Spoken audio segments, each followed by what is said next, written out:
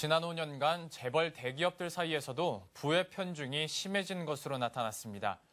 대기업 중에서 상위 4개 그룹의 자산 총액 비중은 55.3%로 절반을 훌쩍 뛰어넘었습니다. 이재경 기자입니다. 공정거래위원회는 자산 총액 5조 원 이상인 62개 기업 집단을 2013년 상호 출자 제한 기업 집단으로 지정했습니다. 한솔과 아모레퍼시픽이 새로 지정됐고 대한전선, 유진그룹, 한국석유공사가 제외됐습니다. 아, 지정 집단 수는 2009년 48개에서 53개, 55개, 63개로 증가하다가 올해 처음으로 62개로 한 개 집단이 감소한 것입니다. 이들 기업 집단은 계열 회사 간 상호 출자와 채무 보증이 금지되고 금융보험 계열사의 의결권 행사가 제한되며 공시 의무를 부담하게 됩니다.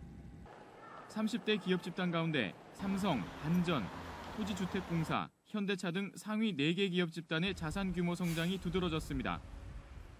삼성의 자산 총액은 306조 원으로 사상 최초로 300조 원을 돌파했습니다.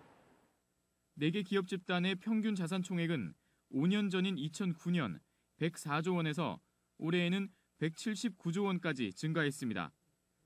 5위에서 12기업 집단은 평균 37조 원에서 50조 원까지 자산이 늘었으며 11위부터 30위까지는 10조 원에서 14조 원으로 증가하는 데 그쳤습니다.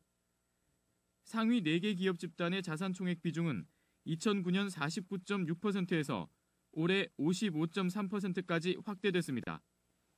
상위 4개 기업 집단의 단기순이익 편중은 더 심해졌습니다.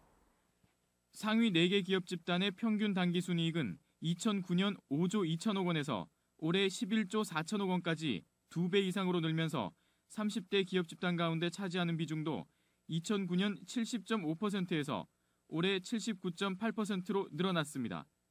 그러나 5위에서 10위까지의 단기 순이익 비중은 30.2%에서 16%로 반토막이 됐습니다.